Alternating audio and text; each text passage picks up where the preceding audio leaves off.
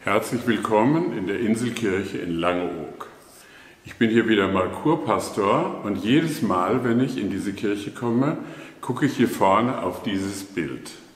Und heute möchte ich es einfach mal mit Ihnen zusammen angucken. Was sieht man eigentlich auf diesem schönen Bild?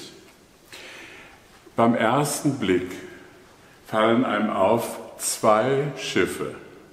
Das erste Schiff, was man erst gar nicht vermutet, ist hier vorne dieses grüne, das ist das Deck eines Schiffes, die nach Langeoog hin und her fahren. Die haben alle dieses grüne Deck. Da sieht man die Schweißnähte und da stehen die ganzen Leute drauf. Und dann sieht man hinten ein anderes Schiff. Und wenn man genau hingucken kann, dann sieht man, dass dieses Schiff in das vordere reingefahren ist und quer drauf hängt. Und hinten sogar festgemacht worden ist auf diesem Schiff, also eine ganz seltsame Situation. Irgendwas ist da passiert. Hinten sind noch dunkle Wolken, die sieht man am Horizont.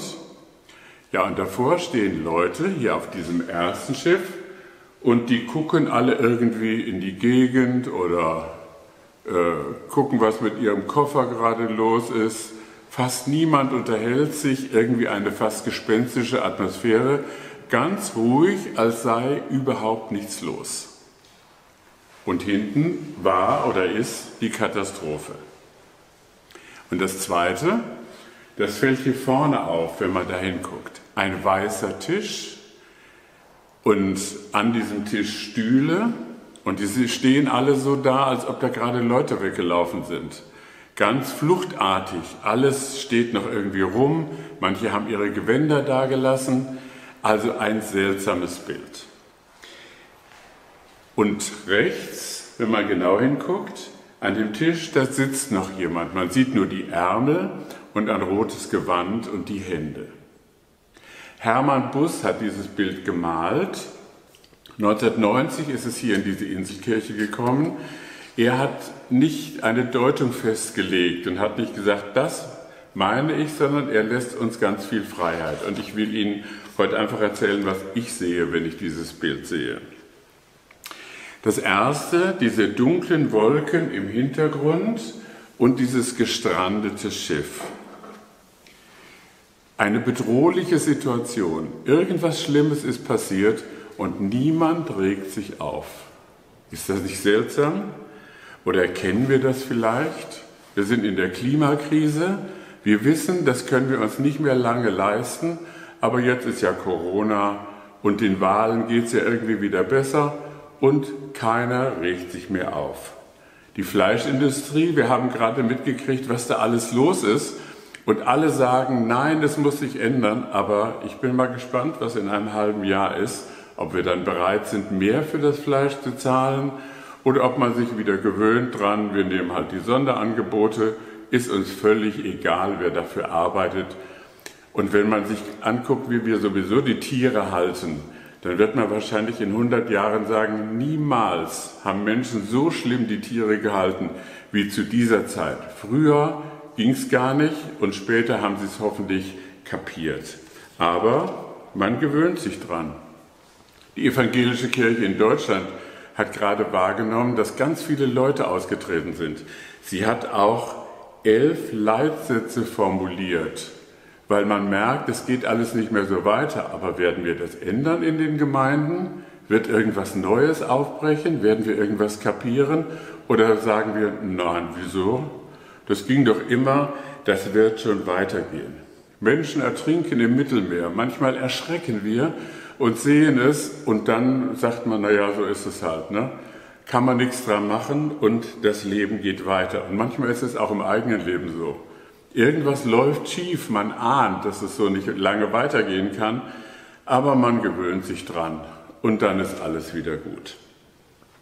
Corona, das regt uns noch auf, ja. Das hat uns noch richtig erwischt, Aber die ersten Stimmen sagen auch, nun kommt mal, bleibt mal locker, ist doch alles nicht so schlimm. Das ist irgendwie eine menschliche Angewohnheit. Man gewöhnt sich an alles und das ist ein bisschen auch schrecklich. Ich dachte an den Satz, den Jesus mal gesagt hat in einem der Evangelien und da, er, da heißt es, er ging durch ihre Dörfer und Städte und als er das Volk sah, jammerte es ihn denn sie waren verschmachtet und zerstreut wie Schafe, die keinen Hirten haben. Und so laufen die hier auch rum. Wir vielleicht auch manchmal?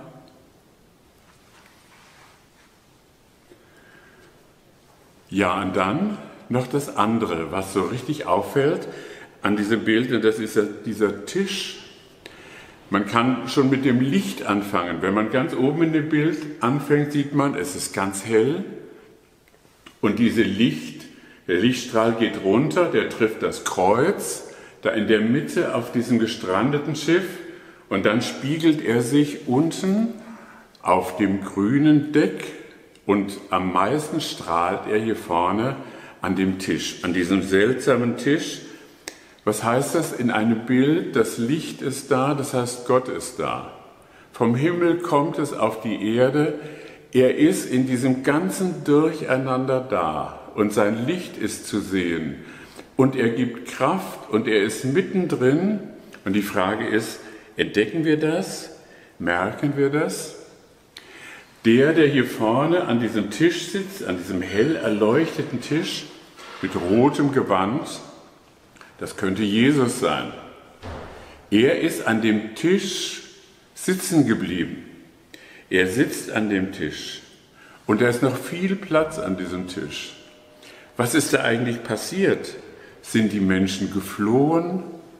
Ist das praktisch wie bei der Kreuzigung? Da heißt, alle Jünger verließen ihn und flohen. Was ist eigentlich los an diesem Tisch hier vorne?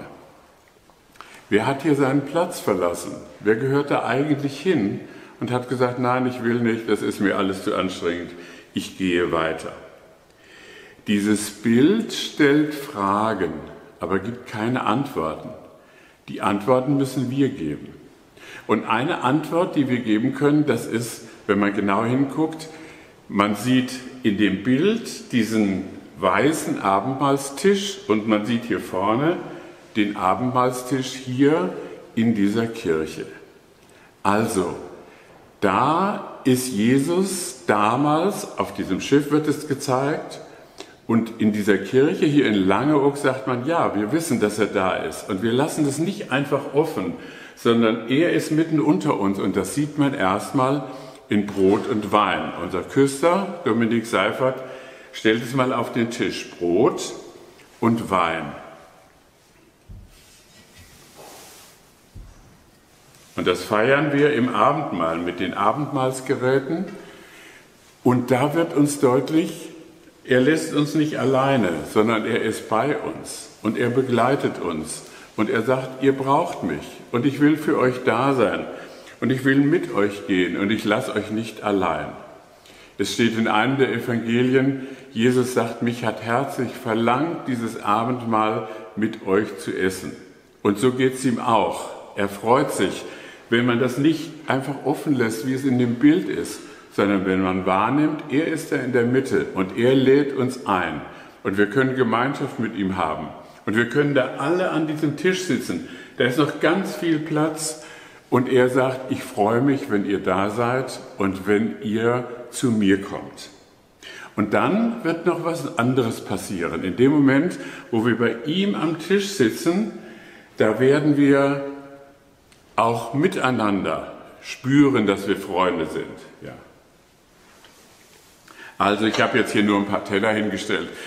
Im, im Ernstfall gibt es dann da Teller und dann gibt es was zu essen und dann sitzt man im großen Kreis und Jesus ist dabei und wir sind Brüder und Schwestern und wir gehen dorthin an diesen Tisch und wir feiern und wir überlegen, was macht man eigentlich mit einer solchen Welt, wo die Menschen manchmal rumlaufen wie Schafe ohne Hirten und die vergessen haben, wozu sie eigentlich da sind. Und dann können Ideen ausgetauscht werden. Das machen die Langeoger hier in ihrem Presbyterium oder mit Mitarbeiterinnen und Mitarbeitern. Und mit all denen, die, die dazugehören, wie können wir in dieser schwierigen Corona-Zeit Gottesdienste feiern? Wie können wir Menschen erreichen? Wie können wir was von der Liebe Gottes weitergeben? Das machen wir in Halle, Westfalen, wo ich herkomme. Da wird überlegt, wie kann man die Menschen erreichen, die sich jetzt gerade zurückziehen?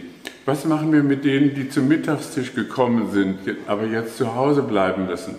Wie soll das weitergehen im nächsten Sommer oder in diesem Sommer, wo eigentlich alle nach Norwegen wollten und eine Freizeit machen? Was tun wir jetzt für die Menschen?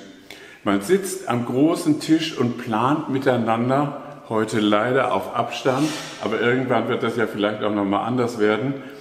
Und wir gucken einfach nach vorne und sagen so, Herr, du bist am Tisch und wir sitzen jetzt auch hier und da ist immer noch Platz, da kann immer noch jemand dazukommen. Und was machen wir? Welche Ideen kommen noch? Bernd Einterbäumer, unser Pastor, der hat ja immer so, so tolle Projekte.